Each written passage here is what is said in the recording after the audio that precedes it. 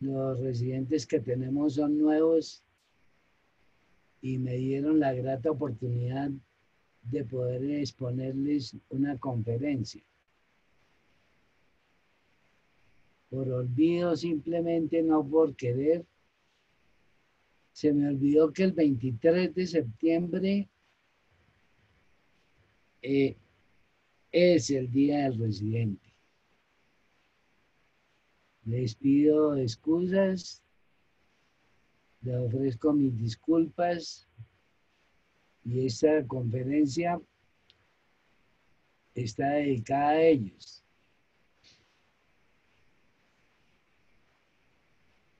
Muchas gracias, doctor. Empecemos. Gracias, profe. Bueno, empecemos. En 1997, un psicólogo argentino publicó el libro El anatomista.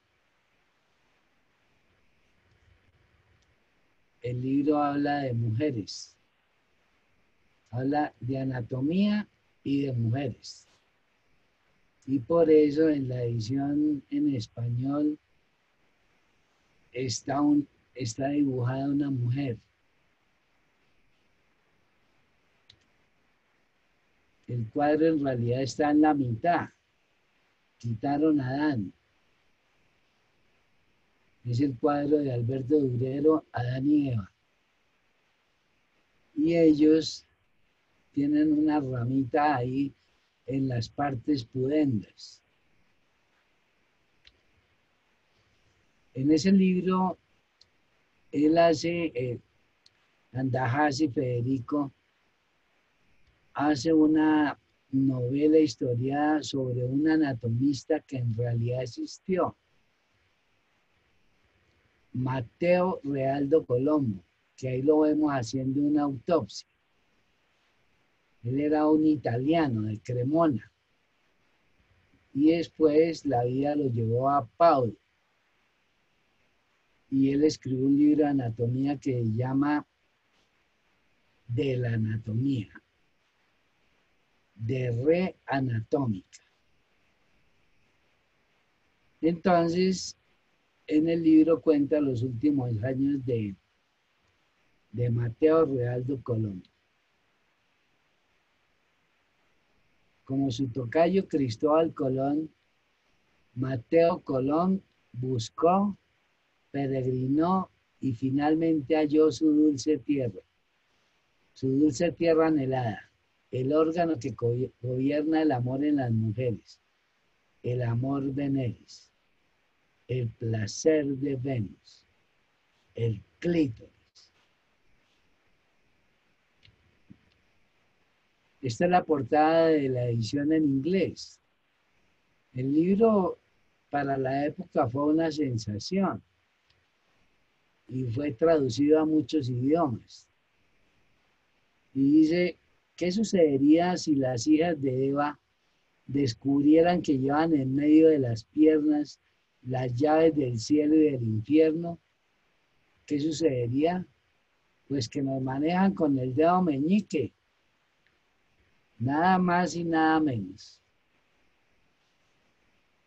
Ocurre en el Renacimiento. La cultura griega y romana que se había olvidado renace con una fuerza descomunal. El verbo es descubrir. Esto es lo más bonito, es el ocaso de la pura especulación a priori y de los abusos del silogismo en favor de la empiria, de la sabiduría de la mirada. Es exactamente la primavera de la mirada. Uno puede pensar lo que quiera, puede especular lo que quiera. Eso no sirve para nada. Lo que sirve es la observación, la mirada. Necesitamos los datos, necesitamos las evidencias. Cambian los mapas del cielo, los de la tierra, los de los cuerpos. Mire esto tan bello. Ahí están los mapas anatómicos que son las nuevas cartas de, de navegación de la cirugía. Y fue que en el Renacimiento todo cambió en forma espectacular. Este es el universo de Ptolomeo, de Egipto, donde la Tierra está en el centro.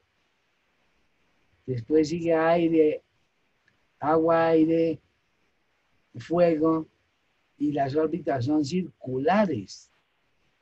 Y eso que está punteado es el quinto elemento de las estrellas inmóviles. Ese fue el primer concepto del, del, universo del sistema solar, primer siglo después de Cristo. Y en el Renacimiento cambió, lo cambió Copérnico. Y ya la Tierra no está en el centro, está en el centro del Sol. Y sigue Mercurio, Venus, la Tierra con su luna, Marte, aún con órbitas circulares, porque tendría que aparecer Kepler y después tendría que aparecer Einstein para decir que somos de cuatro dimensiones. Y Copérnico dijo, no somos el centro. Nosotros no somos el centro de nada. No somos el centro del sistema solar ni de la galaxia donde estamos en la Vía Láctea, que estamos en una orilla, ni en el universo, que estamos lejos del centro. Cambian los mapas de la Tierra. Y Cristóbal Colón entonces descubre América, pero él creía que, que había llegado a la India. Y por eso es que nos dicen indios. Todo eso se desarrolló bajo la mirada de la iglesia con su Inquisición y sus autos de fe, donde lo que dijera la Biblia, donde lo que dijera el Papa, donde lo que dijera Galeno era verdad y no estaba sujeto a discusión.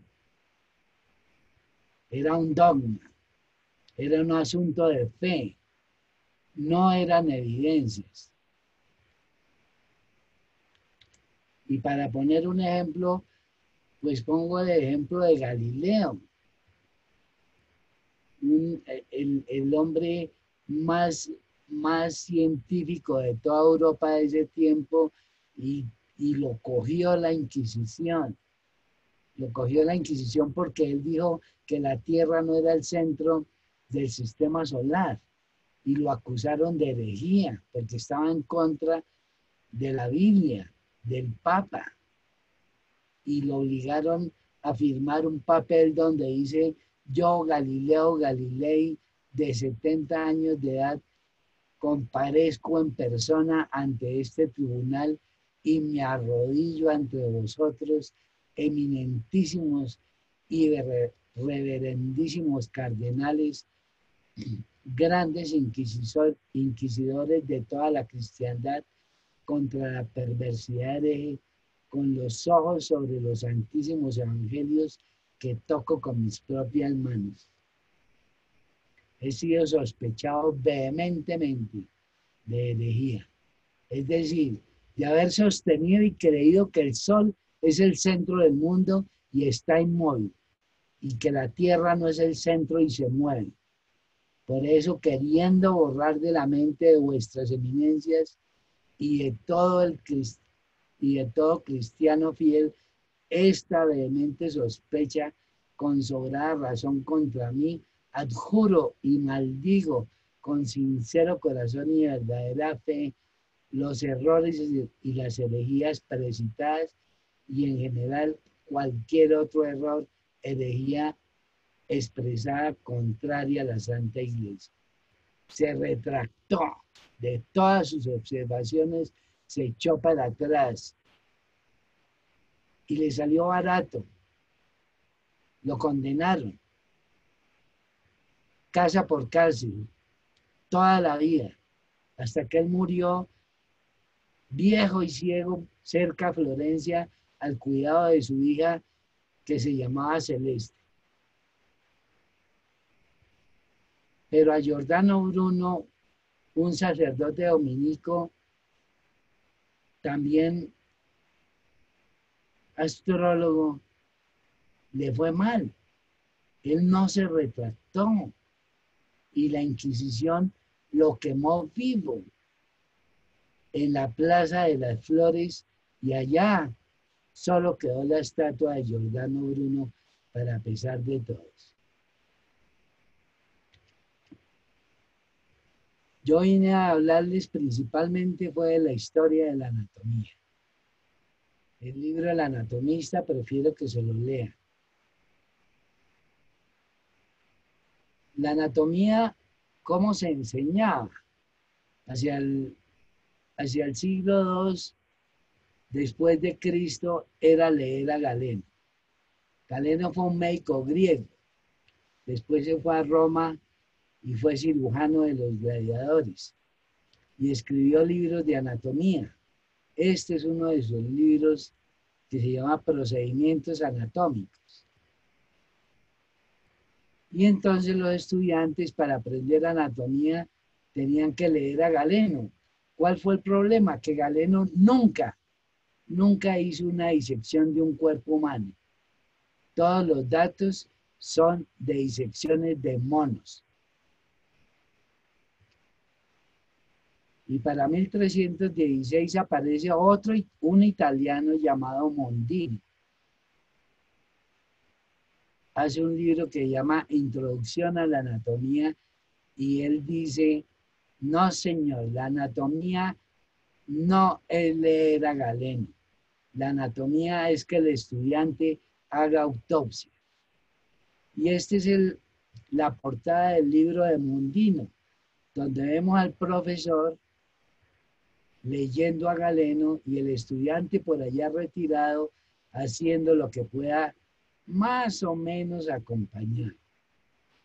El profesor está en una silla hermosísima con brazos y espaldar. Esa silla se llama cátedra. Y por eso a nosotros nos dicen catedráticos.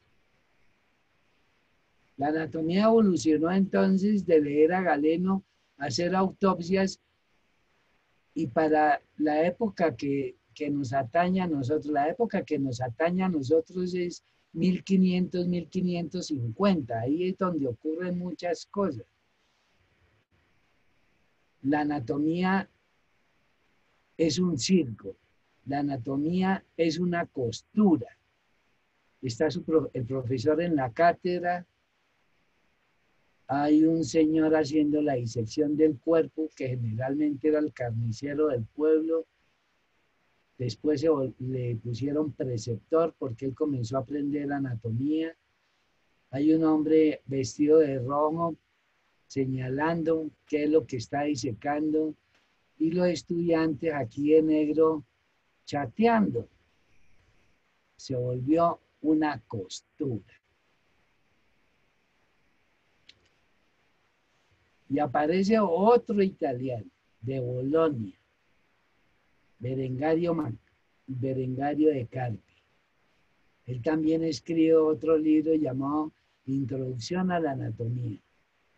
Y en él dice, los libros de anatomía tienen que tener dibujos, porque los libros de anatomía era como 100 años de soledad. Eso era sin dibujos. Y él mismo, Berengario, hace los dibujos extraordinarios, porque eran los primeros donde muestra cosas que uno no se imagina. El, hombre con una soga, el otro con un hacha, porque los cadáveres se conseguían en los patíbulos, en los cadalzos. Y, aquí Cristo mostrando los músculos de la axila por el enorme poder de la religión metido en todos los aspectos de la vida social y académica. Berengario dijo, hay que hacer dibujos.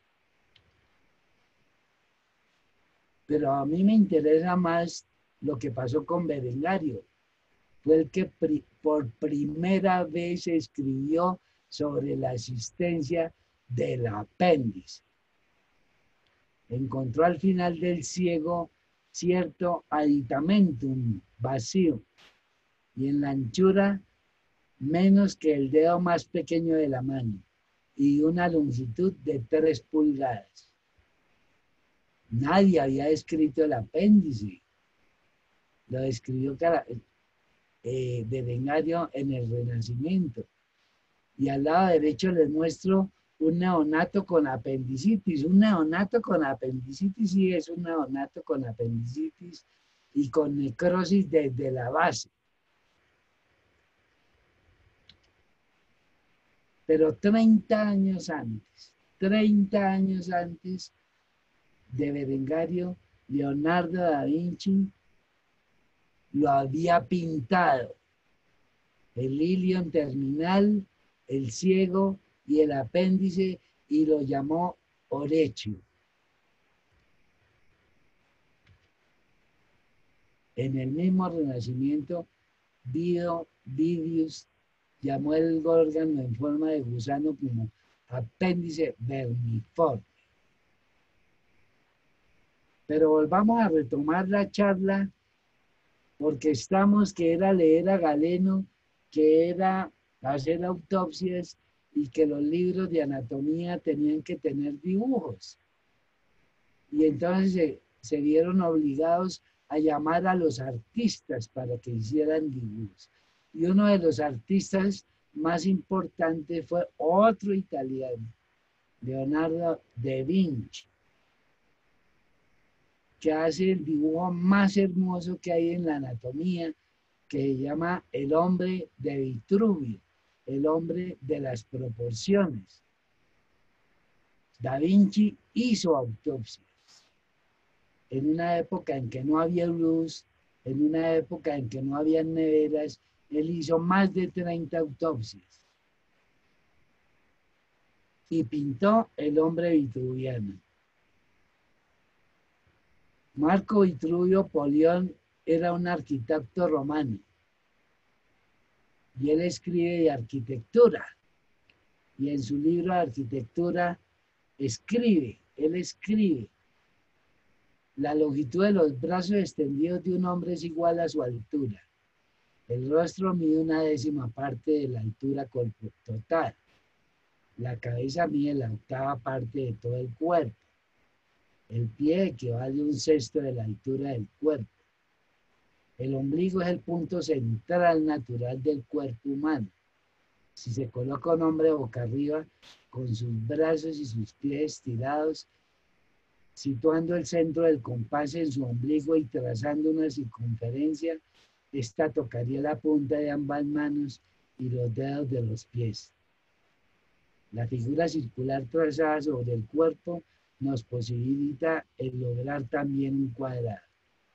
Y entonces para que vean cómo es Da Vinci de poderosa su mente, que él leyó y lo hizo. Y es lo más hermoso que tenemos. Aparece en carátulas, en llaveros, en libros, en toda parte, en camisetas. Y ya sabemos de dónde viene. De Vitruvio, el hombre de las proporciones y está el círculo, y está el cuadrado, y está la cuadratura del círculo, problema matemático no resuelto durante mucho tiempo.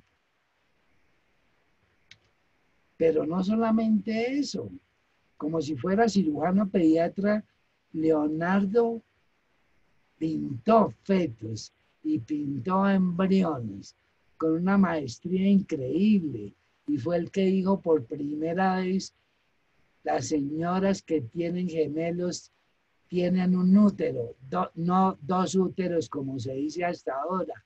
Los datos, la observación, la evidencia, así de fácil, no es pensar.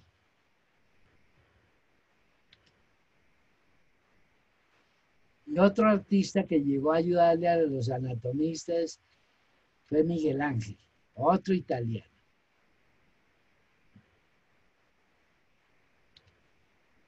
Miguel Ángel pintó el techo de la capilla Sistina y el altar de la capilla Sistina. En el techo pinta el Génesis. Dios creó la tierra del cielo, Dios hizo la luz y el tercer día separó las aguas de la tierra. Y este es el gráfico que hizo a Dios con dos angelitos metidos dentro de una concha, mientras el mundo por fuera está en, en un desarme increíble. Y ahorita con la ayuda de todo lo que tenemos, ¿de dónde sacó ese dibujo? ¿Cómo hizo para inventárselo? Y con el computador, y con el computador, y con el computador lo sacó de un riñón. Donde la concha, donde está la corteza renal, donde los ropajes de los querubines y de, Dios es el lirio renal.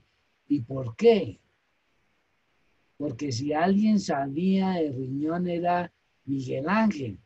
Miguel Ángel tenía gota y sufría cálculos urinarios por gota y también le dio artritis gotosa.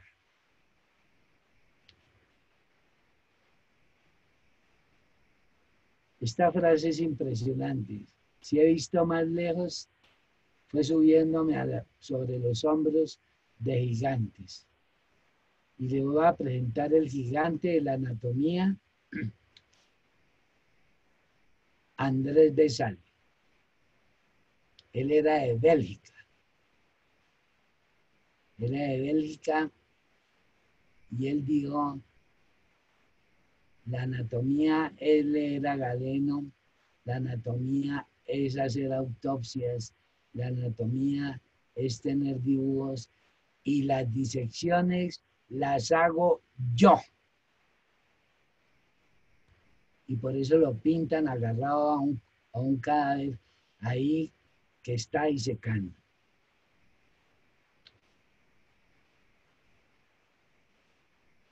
Allá en Bélgica, él nació en Bruselas, se fue para Lovaina y aprendió latín, griego, árabe.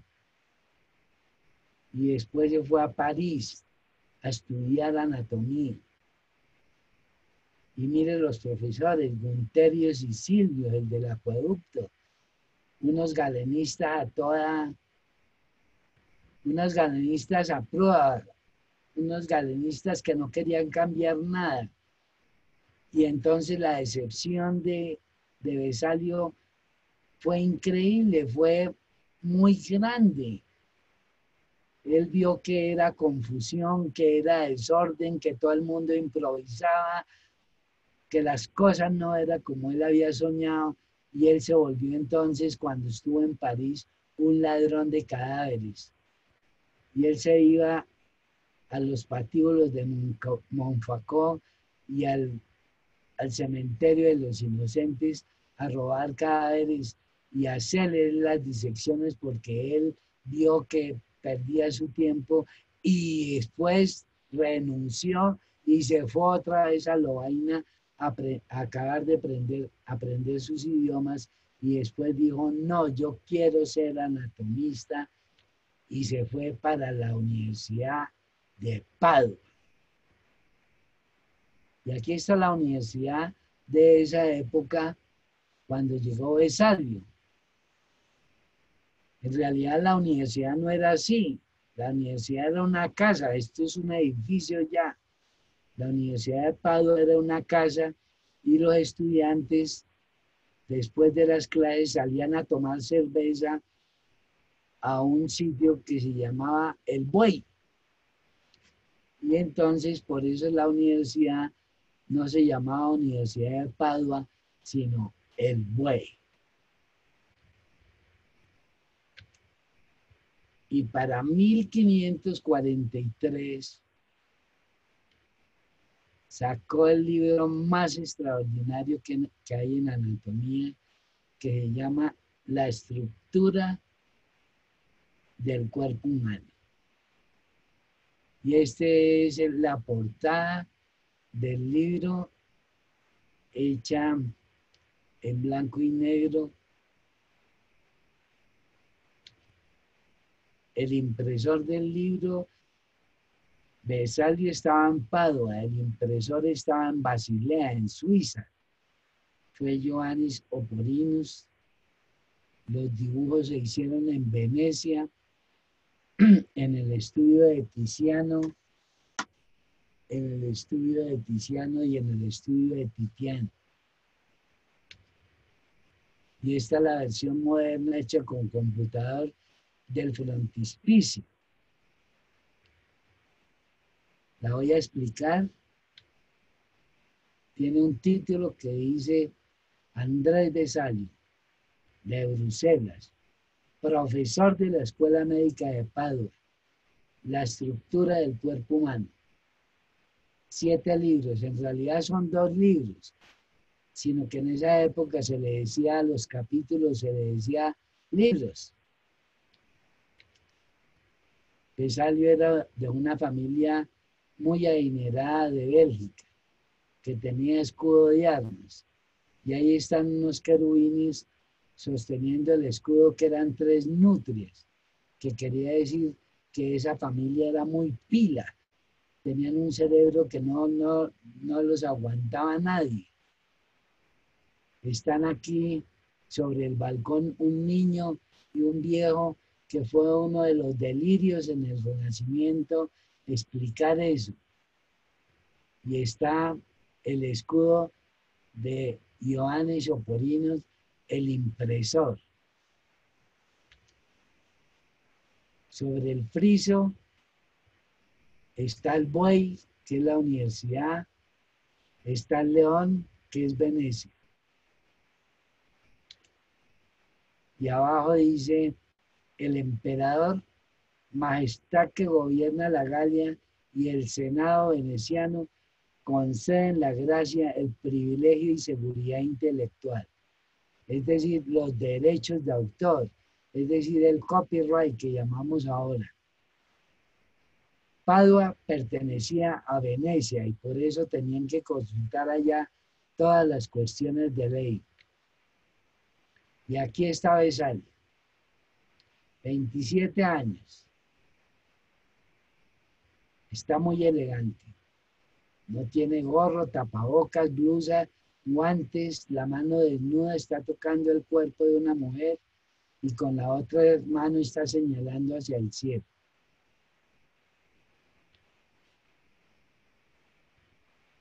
Está haciendo la disección del abdomen. No hay electricidad, no hay neveras. Se montaba una autopsia pública en la entrada de la universidad del BO, en, la entrada, en el patio principal de la universidad, se improvisaba con tablones y se hacía en enero, en diciembre y enero, que eran los meses de invierno, y se conservaban un poquito más los cuerpos por el frío. Y se comenzaba por abdomen, que era donde más rápido se descomponía. La señora era una prostituta que había asesinado a un niño y la justicia la había encontrado culpable y la había condenado a la horca. Ella, para salvarse de su condena, dijo que estaba embarazada.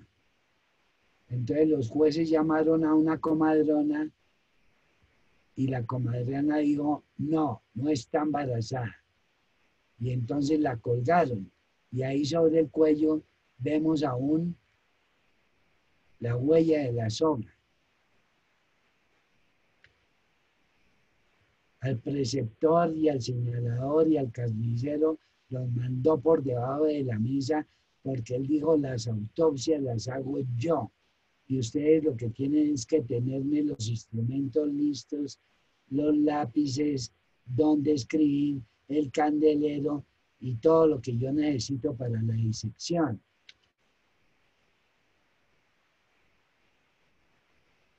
En la autopsia hay dos mujeres. El cadáver y está esta mujer arriba de la derecha. Ella era la comadrona. Ella está en el renacimiento. ella fue a ver si, lo, si su veredicto que no estaba embarazada era cierto. Y no estaba embarazada. Los datos, los datos. Este esqueleto que está aquí era el tesoro de Besalia. Lo consiguió en Lovaina. En Lovaina este era un ladrón y lo condenaron a ser quemado.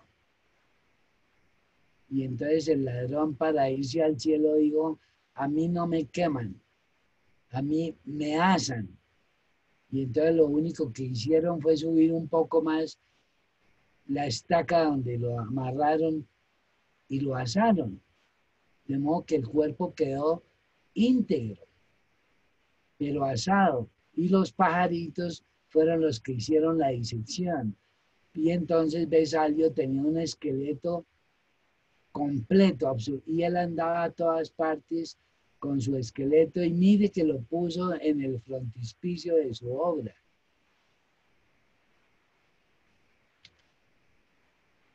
Y aquí están los estudiantes leyendo a Galeno delante de Besalio. Y otros estudiantes dormidos porque si no estarían chateando. La iglesia poderosa, inquisidora, estructurada, inmensamente rica. Pero las autopsias están prohibidas. Y las autopsias de mujeres más prohibidas.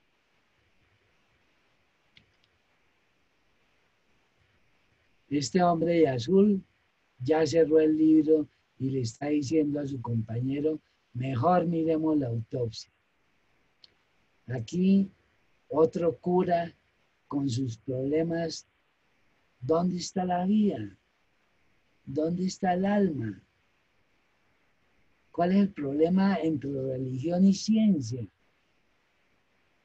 Este que está de aquí amarillo, barbuches, este era un judío y le ayudó a, a a traducir todos los libros griegos y del árabe los, libros de Galeno, de Avicena, de Iván Nafis, él fue el que le ayudó a traducir todos esos libros. Este de azul está ensimismado, porque así tiene que estar uno, ensimismado. El estudiante sigue leyendo a Galeno y estos siguen dormidos y, y la Italia de ese tiempo en Padua era hacer disecciones. Y este hombre está mirando al otro colgado de la columna y ya lo tiene desnudo porque lo quiere disecar. Se hicieron vivisecciones como hicieron los griegos. Los datos que se tienen es que no se hicieron vivisecciones, pero este lo quiere disecar vivo. Al lado de Besalio está este hombre con una bolsa increíble, era un judío. Y por eso explicamos por qué tiene la bolsa. Y él pagó todo, todo en Suiza, en Venecia, él pagó la impresión, él fue el que patrocinó absolutamente todo. Hay un mono aquí. Y aquí está el anatomista. Mateo Realdo Colón. Amiguísimo de Besalio, amiguísimo. Después de que se fue Besalio, él lo siguió en la, en la jefatura de anatomía de la Universidad de, de Padua. Y aquí hay un perro. Y era que se tenían monos y perros porque si después de la disección había alguna pregunta del auditorio, sobre todo de fisiología, porque lo que estamos viendo era estructura, se pasaba al perro y al mico y se les hacía vivisecciones. Eso sí se hizo en Italia, vivisecciones. Y mire los dibujos del libro, son impresionantes. El sistema aporta cómo lo pinta, cómo lo pinta uno se imagina nada más la esplénica y la mesentérica superior formando la porta, pero mire esa cantidad de vasos hasta las hemorroidales están participando en el sistema porta y cada uno tiene estos, una, un nombrecito, una letrica y, y el cura buscando el alma pero nosotros ahorita le podemos mostrar dónde está el alma. Se llama el alma quirúrgica. Está en la cabeza del páncreas. Tres planos vasculares, los vasos mesentéricos, la porta y la cava, uno detrás de otro. Una herida ahí es mortal y por eso se llama el alma quirúrgica. Y como si se hubiera inventado el tax hizo unos cortes cerebrales en 1543 y cinco siglos antes del TAC. Y hizo unos dibujos, mire esto, esto lo hicieron en Venecia, en los estudios de, de Titian. Y este se llama Hamlet de Vesalio, donde está un esqueleto pensando sobre la vida y la muerte, posando la mano sobre un cráneo. Y hay una cantidad de letras, no me las sé todas, pero estas que están aquí, dice, todo el esplendor de la vida termina con la muerte. Y en la artesa, los huesos blancos revelan la magia de la forma. El libro de Salio es un libro de ciencia, de medicina, de arte, es un libro revolucionario. Y él lo publica y le fue mal. En Padua, en la universidad, se dividieron entre los que iban a favor de Galeno y los que iban a favor de Besalio. No creían lo que decía Besalio a pesar de eso. Él en una noche de locura, él quemó todos los borradores que había hecho para hacer el libro. Renunció a la universidad. El libro se lo había dedicado a nada más y nada menos que a Carlos V, el santo emperador y rey Carlos V. Y entonces él se fue con él a trabajar con él a España. Peleó con Mateo Realdo Colombo. Se volvieron enemigos acérrimos. Y se fue para España. Y en España otra vez, porque era, era una nutria muy pilo, la fama, la investigación, las cosas, y entonces se gana uno los enemigos, los celos, las envidias y le mandaron la Inquisición. Lo acusaron de estar haciendo vivisecciones. Eso nunca fue comprobado. La Inquisición lo halló culpable y lo condenó a la hoguera. Pero él era el médico del rey y entonces el rey intercedió ante la iglesia y conmutó la pena. Besalio, que estaba en España, en Madrid, tenía que ir a la Tierra Santa, en Jerusalén, al Santo Sepulcro, y pedir perdón. Hizo su recorrido atravesando todo el Mediterráneo. Y cuando volvió, el barco se hundió y Besalio llegó a, las playas de esta isla griega en el mar Jónico, la isla de Santé. Llegó al cuerpo porque él llegó muerto. Y allá lo enterraron y allá están los restos de Besalio. ¿Qué dejó Besalio? La lectura de los libros no es suficiente. Para mí es preferible que un cirujano no lea libros, sino que practique cirugía. Ver con los ojos, con los propios ojos, lo que tiene delante de los ojos. miran a través de los ojos de los libros, a través de los ojos del profesor, por pura complacencia. Eso no es así. Si uno no ve lo que dice el profesor, uno tiene que decirlo. Y Salio no veía lo que decía Galeno. Y lo dijo y lo escribió. A nosotros Besalio nos dijo, bájese esa cátedra, venga, ayude, venga, me enseña. Y ya les mostré que es la anatomía del cuerpo humano, que es arte, que es belleza, que es ciencia.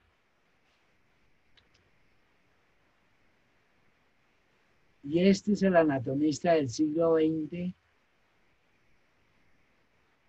y de principios del siglo XXI.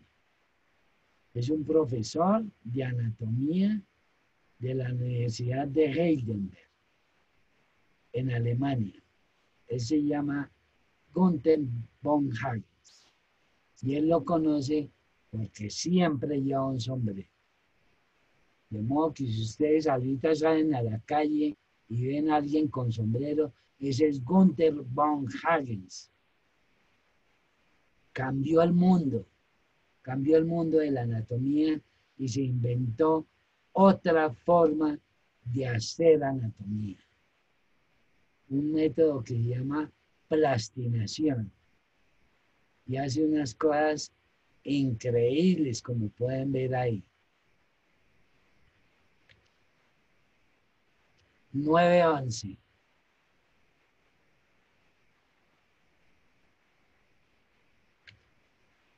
danza.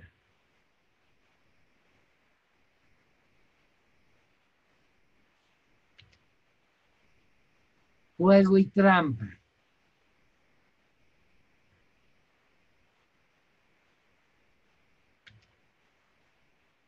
Salto.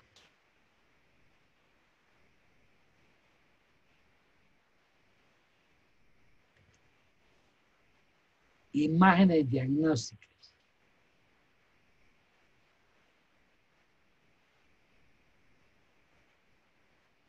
Un nuevo método anatómico llamado plastinación.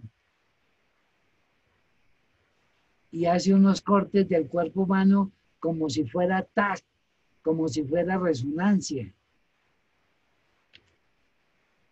Y no solamente se inventó eso, sino hizo accesible al público en general lo que él hace. Y yo creo que ustedes han ido a Boris, donde uno puede entrar y mirar las disecciones de Gunther von Hagens. Y se fue más allá, volvió a las autopsias públicas. Y en, en el libro de él, eh, este es un afiche invitando a una disección pública. ¿Y qué tiene en el afiche? Pues el frontispicio del libro de Besalio que ya ustedes se lo saben de memoria. Y aquí lo vemos con su sombrero, entonces él es Gunther pero con blusa, con guantes, delante de las cámaras, delante de los profesores, de los estudiantes, de los administrativos, haciendo una disección pública. Un revolucionario en la anatomía en el siglo XXI. Se llama hacker. Y esto es para decirles que el 90-95% de la charla la preparé por internet.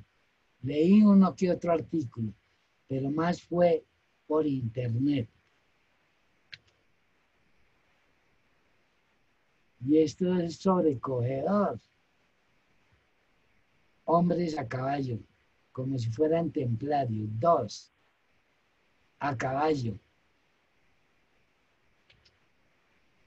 Y aquí, cuando están haciendo esa obra, una cantidad de gente impresionante y él con su sombrero dirigiéndolos, son procesos muy largos, mínimo un año. En este gastaron tres años. Mínimo 100 mil dólares. En este gastaron medio millón de dólares. Y en una de las exhibiciones en, en Londres, una mujer se subió al caballo. Porque los trabajos de Gunther Bohagens han desatado mucha controversia a todo nivel, a nivel académico, a nivel religioso, a nivel gubernamental. Hasta vándalos han llegado a destruir esas obras con martillos, a quemar las obras de Gunther Borges. Y esta mujer, una feminista, ella protestó de esta forma para decir que en las exposiciones de Von Hagens casi no había mujeres, que eran puros hombres. Y es que conseguir un cuerpo de mujer es cosa bien difícil. Miguel Ángel también pintó en el altar de la capilla Sistina el juicio final. Y les quiero mostrar nada más esta parte del juicio final. Está un santo que fue apóstol, que anduvo con Jesucristo y que cuando murió Jesucristo, él se puso a enseñar esa religión a los demás y fue condenado por hereje. San Bartolomé. Lo condenaron a morir desollado, a quitarle la piel y así murió San Bartolomé. Y cuando lo pinta Miguel Ángel, mire cómo lo pinta. El hombre con un cuchillo en la mano derecha y en la mano izquierda la piel que él se había quitado. y la cara de la piel desollada, pues es la cara de Miguel Ángel, con su nariz rota, porque nosotros no comprendemos eso, ellos mandan muchos mensajes subliminales, ¿sí? El mensaje del riñón que lo que hace es separar los solutos de los solventes, como Dios está separando la tierra del agua y aquí se muestra.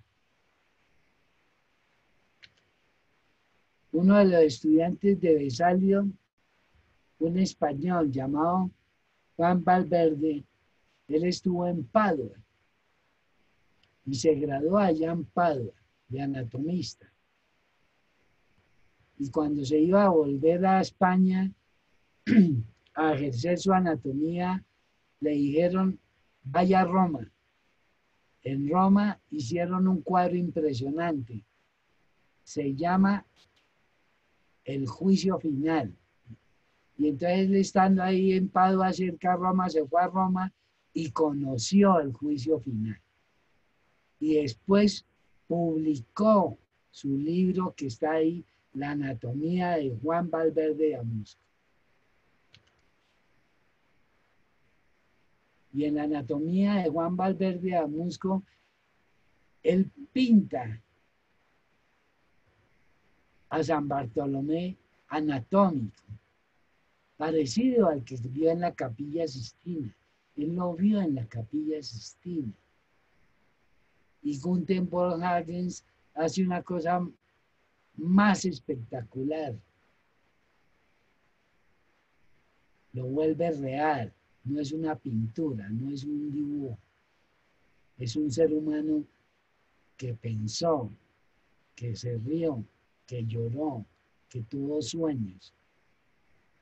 Y ahora es San Bartolomé.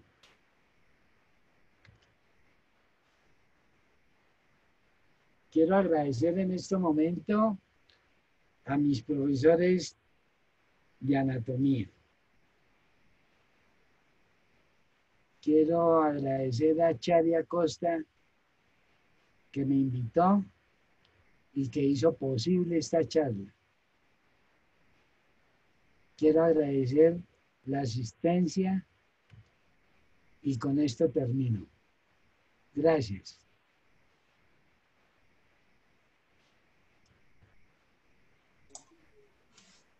Muchas gracias, doctor, por la charla. Dejamos los micrófonos abiertos para los que quieran compartir su opinión.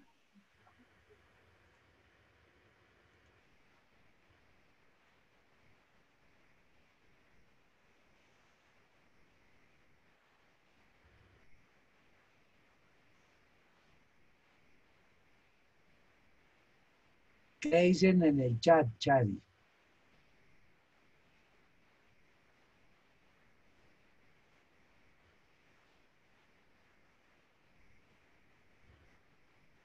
Nada. A los, a los residentes. Yo, yo tengo una pregunta, profe Niño. Sí, señor. Edgar Alzate, mucho gusto. ¿Cómo ¿Cómo estás? Bien, profe. Profe, es maravilloso pues toda esta forma de, explicarnos la historia. ¿Usted cómo cree que en la actualidad deba enseñarse anatomía? Si estamos cambiando de tanta forma, eh, ya no podemos legalmente acceder a los cuerpos, hay muchas dificultades en las universidades y hoy en día hay muchas otras herramientas virtuales que lo permiten. ¿Usted qué piensa, profe? pues la anatomía sigue cambiando. Ahorita con la resonancia y con el TAC queda mucho más fácil. Y nosotros que somos médicos, es mejor que cojamos por ese camino. La técnica de plastinación no se quedó en la Universidad de Heidelberg. Es una técnica que ha sido adoptada por muchas universidades en todo el mundo, en, Estados Unidos, en Europa, se hace plastinación y ellos tienen la forma que el estudiante no haga la disección, sino que haga plastinación. Y para nosotros los cirujanos, tenemos que leernos no a Galeno, sino a Escandalakis, la anatomía quirúrgica de Escandalakis de dos tomos leyéndola, uno llora sangre. Pero después de haberla leído, uno se ríe del mundo y está extremadamente estructurado. Gracias, Alzatis. A usted, profe, maravilloso todo. Con usted no leímos Escandalakis Alzate. Cada ocho días, profe. Cada ocho días. Muy buena esa. Bueno, yo les agradezco la, la asistencia y creo que nos toca irnos a descansar un rato y esperar qué tenemos para el lunes. Chari, ¿ya tienen algo?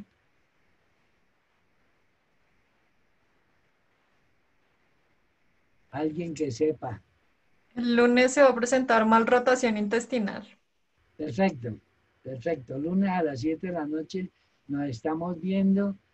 Que pasen un, feliz fin de semana y vámonos a descansar.